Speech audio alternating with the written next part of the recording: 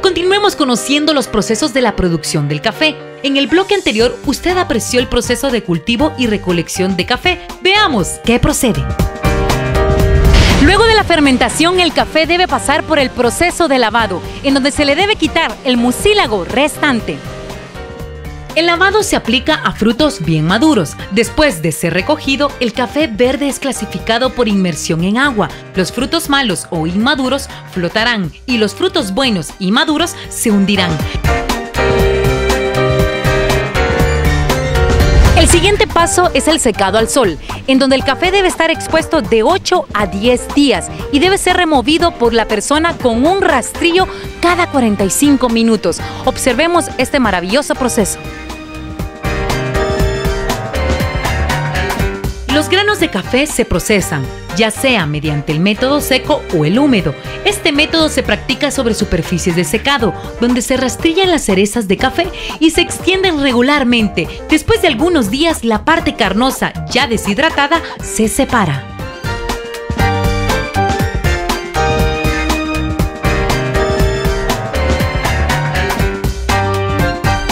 Asegurarse de una alta calidad del café, debe realizarse el proceso de la clasificación manual, que se realiza de la siguiente manera. Observe.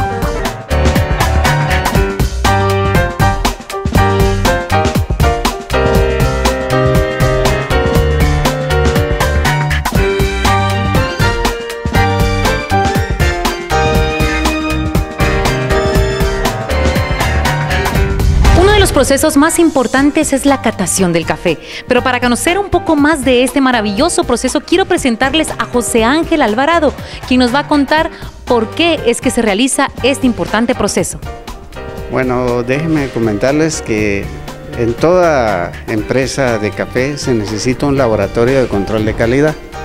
Eh, por ejemplo, un café de altura pues necesita un poquito más cuidado y un café bajo mucho más todavía. Pero en sí, el laboratorio lo que desarrolla acá es las diferentes calidades de café que se van a vender. En este caso, Finca Filadelfia.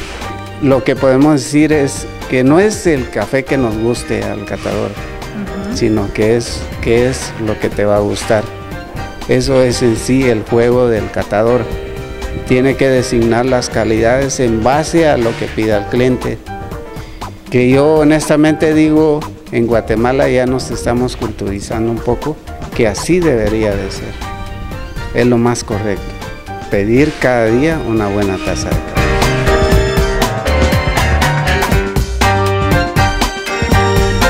Así que siéntase seguro que cuando usted disfruta una taza de café ha pasado por todos los controles de calidad. Por supuesto, debe ser guatemalteco. Amigos de fiesta, continúen con nosotros porque en el siguiente bloque usted observará las diferentes preparaciones de esta deliciosa bebida. Mientras tanto, disfrute junto a su familia de una buena taza de café.